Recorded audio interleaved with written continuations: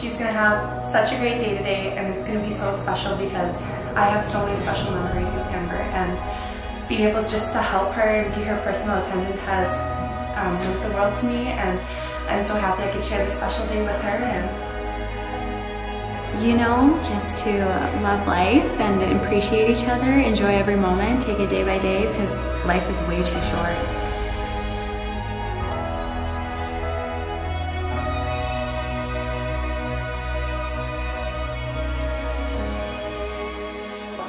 Uh, not nervous, just anxious. I'm really anxious, really excited. Um, I think to marry your best friend, you should be nervous to do that. I think it just becomes natural and you should be more excited and happy. it's a happy day.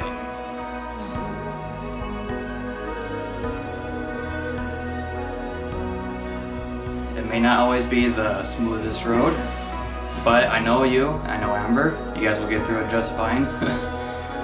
I'm getting emotional, but I'm keeping it cool. I'm excited for the both of you and many happy years of marriage to come. I wish nothing but the best for you guys. Love you both.